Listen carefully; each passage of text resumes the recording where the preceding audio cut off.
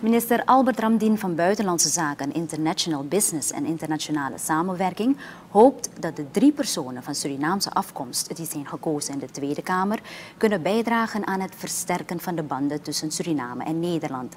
Het gaat om Sylvana Simons, Don Seder en Raoul Bouke. Het geeft mij, en dat is meer praktisch, wel de mogelijkheid om uh, deze parlementariërs toch te blijven informeren over onze posities.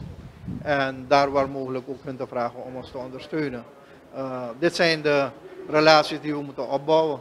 Dus ik verwelkom het en ik uh, feliciteer ze met hun, met hun uh, verkiezing. En ik hoop dat ze inderdaad een belangrijke bijdrage kunnen leveren. Ook in het versterken van de relaties tussen Suriname en Nederland. Minister Albert Ramdien van Buitenlandse Zaken. De nieuwe Tweede Kamer is vandaag beëdigd. Sylvana Simons trok als eerste zwarte fractieleider de meeste aandacht. Ze werd op feestelijke wijze door aanhangers begeleid. De beelden die waren aangeboden door Brasa Media.